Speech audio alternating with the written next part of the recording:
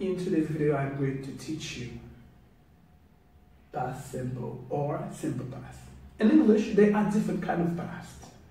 We have simple past, past continuous, and past perfect, and past perfect progressive. All right? But in my video today, I will try to explain you how and when can you use past simple. The simple past is a verb tense that is used to talk about things that happened or existed before now. Or I can say we use past tense to talk about something that is completely finished in the past. All right?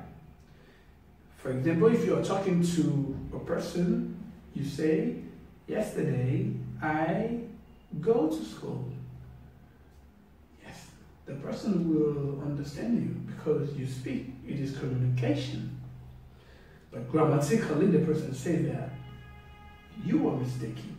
Because if you say yesterday, the verb should be or must be in the past. That's why when you go to school to learn, when you have a guide, when you have a tutor who can help you to speak English, that's the best way. That's why I'm here to help you understand, to help you analyze everything in order to speak English as well as a real native speaker. All right? Example, I visited Ankara last month. I visited Ankara last month. Really? Come on. What? Why did you go to Ankara? I went to Ankara because, you know, etc. Do you understand? All right? How did you go to Ankara last month? I went to Ankara on foot. Oh, come on. It would be very difficult for me to leave Istanbul and go to Ankara on foot. Come on. And we have time markers. Time markers the precision of the action. Because when you use time because you help the person who is listening, you help the person who is listening to you to understand what you are talking about. All right? For example, you say last night, last week, last month, last year, yesterday, yesterday morning, yesterday afternoon, yesterday night, the day before yesterday, all right? And we have ego. Basically, we use ego with the past. I saw fra yesterday. Or I saw fra two days ago, two weeks ago. Do you understand? If you say I see fra one day ago, you speak no problem. But grammatically you are mistaken. Let's go. And what is important when you talk about past tense? Sometimes students are confused.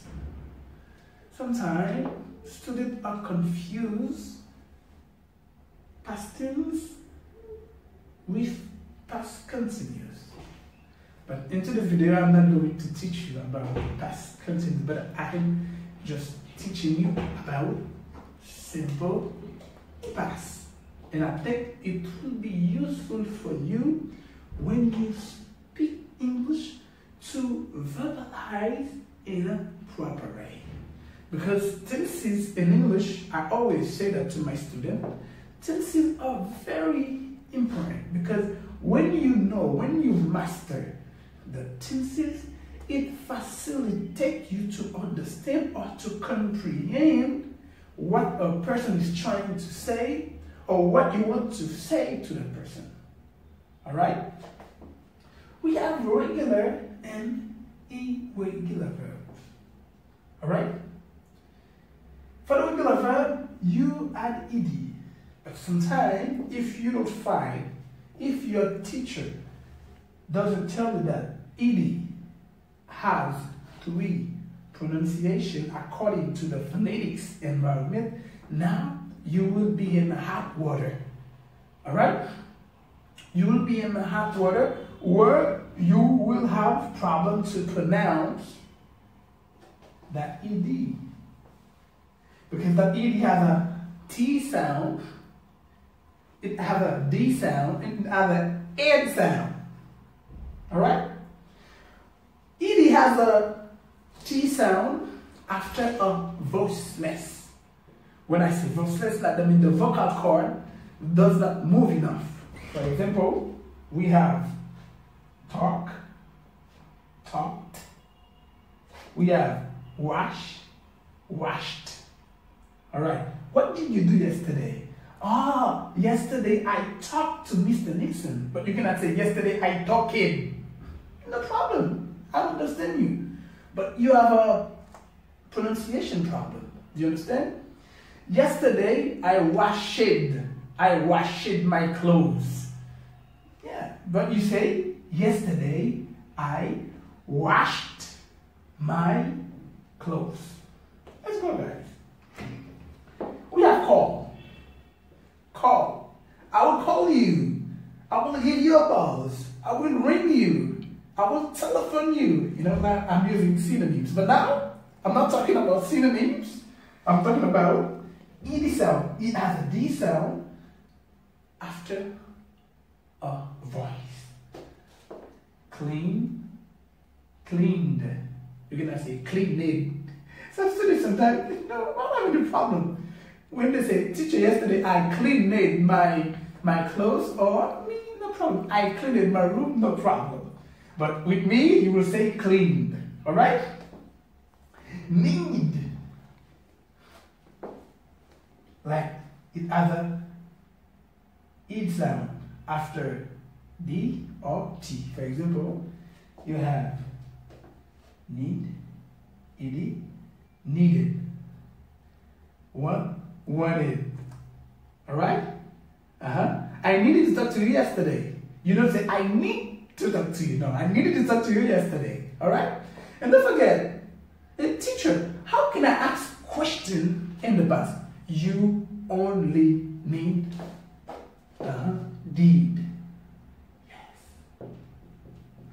Deed. All right? Deed.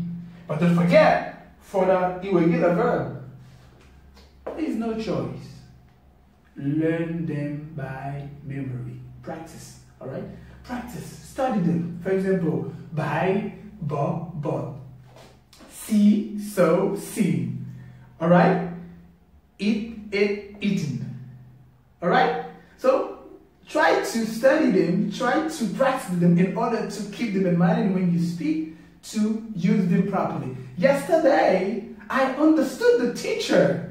You cannot say yesterday I understand the teacher. People understand it, but grammatically it's not good. Yesterday I went to the beach. All right? I went to the beach yesterday.